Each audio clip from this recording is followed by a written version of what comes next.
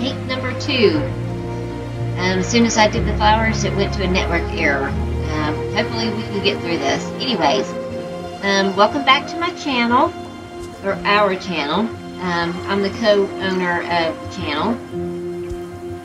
What I'm going to show you today is how to get from a level 10 to a 15 in two hours, even less, depending on the route you take. Um, it would be very beneficial if you do the Path of Terror, all of it, and I'm going to show you the reasons why. Uh, this one, it's very simple, very easy. Uh, I don't know about y'all, but it would be tedious for me to sit on one of the races round and around and around 20, 30 times, getting unlimited XP when you can actually do more into your training and to me it would be less tedious uh, and I mean and why not? You've got all this in your arsenal. So why not use it? Okay uh, and I'm going to show you uh, hopefully this will all pan out. I went through the figures and let's just see what happens. When I have the network error I've pretty much lost my flowers here, but let's see, make sure I don't have network error this time.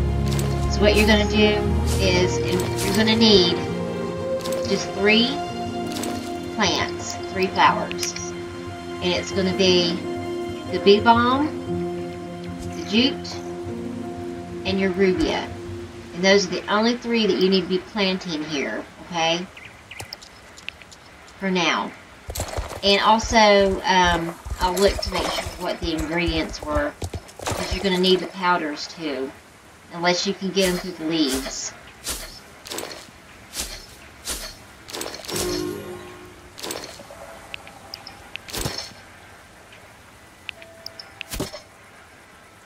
And all this will make sense once you understand what I'm doing.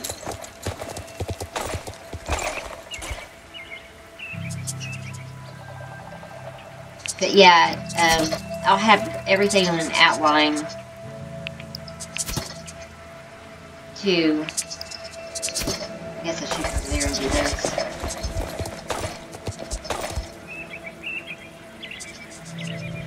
And I'll fast forward this, this part.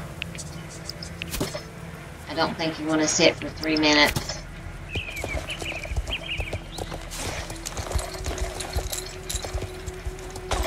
Or I could just come back.